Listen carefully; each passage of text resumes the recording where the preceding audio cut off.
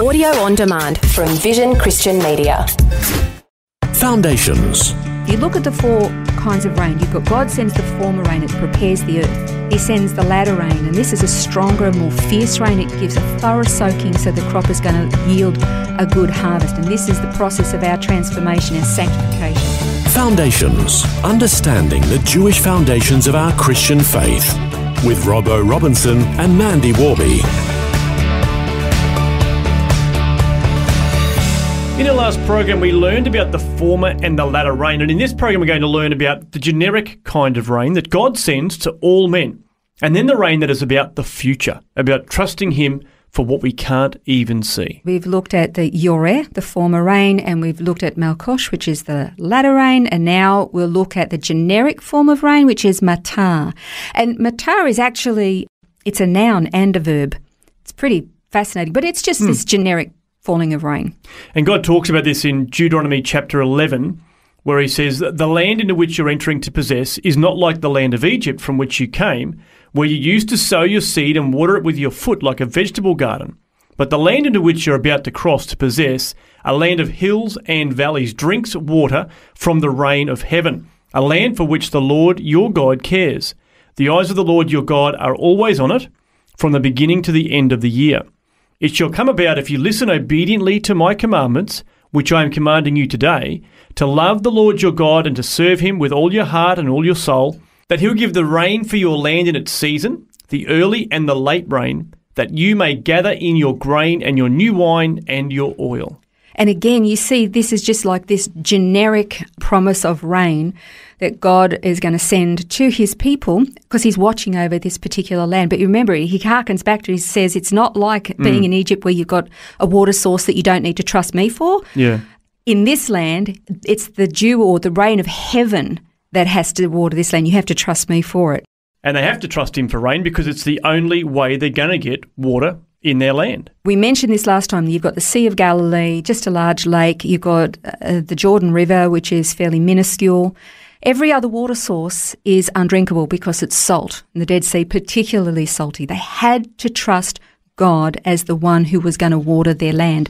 We hear in scripture that God talks about sending the rain on the evil and the good. Yeah. And so that's just, I guess, this generic form of rain that sort of just falls around the world at various times. Yeah, yeah. So again, and this is how we recognize that God is a God who is good and he is not partial. He, he says that he's not partial. Yes, he has a chosen people and yes, he has promised various different covenants and blessings for them, but God, God's heart is for all mankind. So yeah, he will spread his love, his generic word, his rain on all men because he's a good God.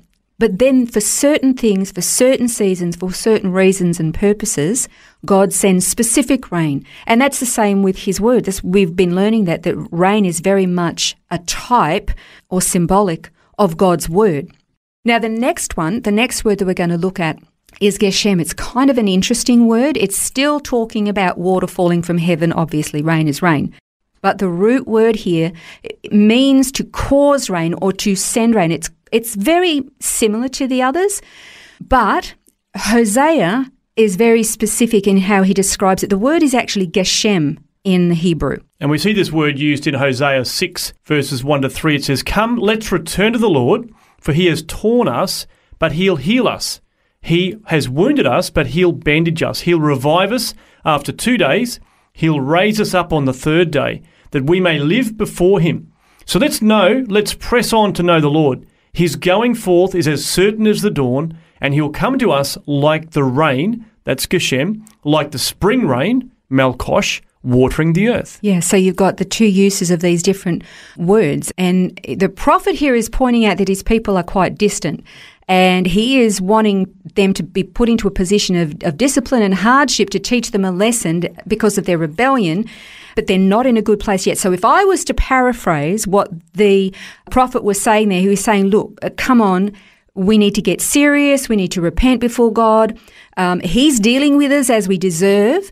But uh, if we will just get our act together, if we will return to Him in repentance, He's going to send the rain, the Geshem, the life giving water that we don't currently have, that we're literally dying for.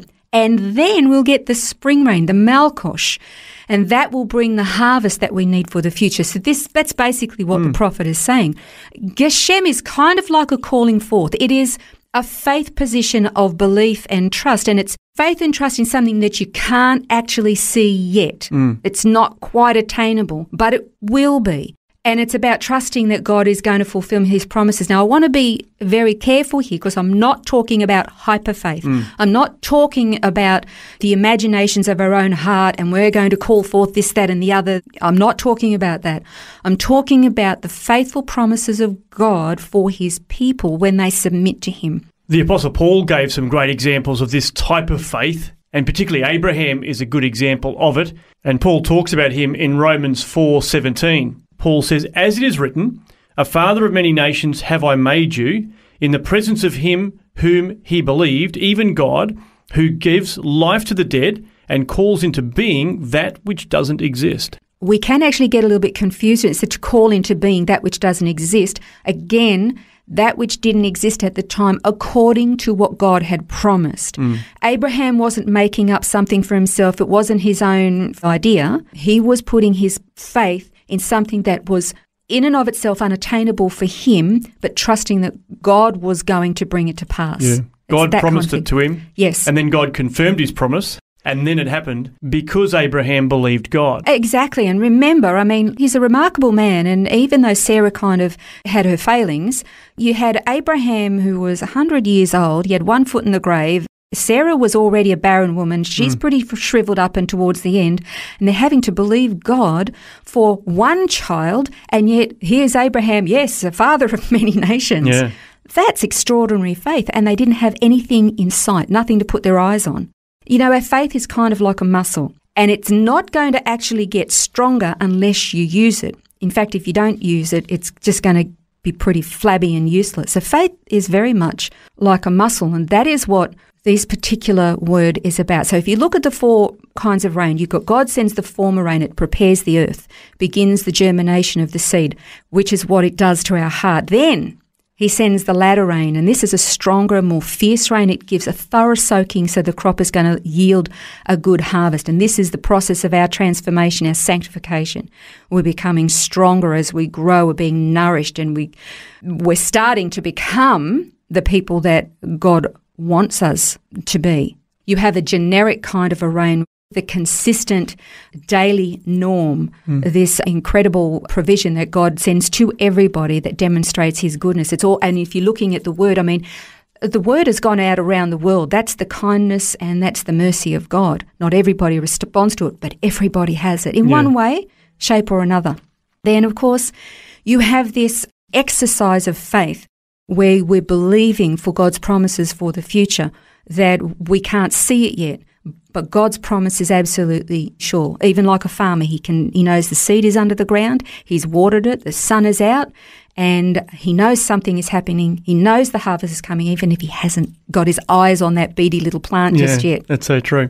It is all about faith, and of course, the Bible tells us that our faith pleases God. Hebrews 11:6 says, "Without faith, it's impossible to please Him. For he who comes to God must believe that He is, and that He is a rewarder of those who seek Him." And then also in James 5, it says, Therefore be patient, brethren, until the coming of the Lord. The farmer waits for the precious produce of the soil, being patient about it, until it gets the early and late rains. You too, be patient, strengthen your hearts, for the coming of the Lord is near. Isn't that wonderful? There's the former and the latter rains again. Hmm. God is going to do what He's going to do. He's committed to us and our relationship with Him. He's committed to our faith and He's committed to holding us until we take our last breath and we step into eternity with Him. In the meantime, when we can't see everything the way we think it should be, like James says there, have patience and trust that the Lord is near and He'll do what He's promised. We look forward to joining you again next time for Foundations. And if you want to suggest a topic that we could study on Foundations, I'm sure Mandy would love to research something for you. So you can get in touch with us via the website vision.org.au slash foundations. This has been Foundations, a look at the Jewish foundations of our Christian faith. For study notes, resources, and more, see vision.org.au slash foundations. Thanks Thanks for taking time to listen to this audio on demand from Vision Christian Media. To find out more about us, go to vision.org.au.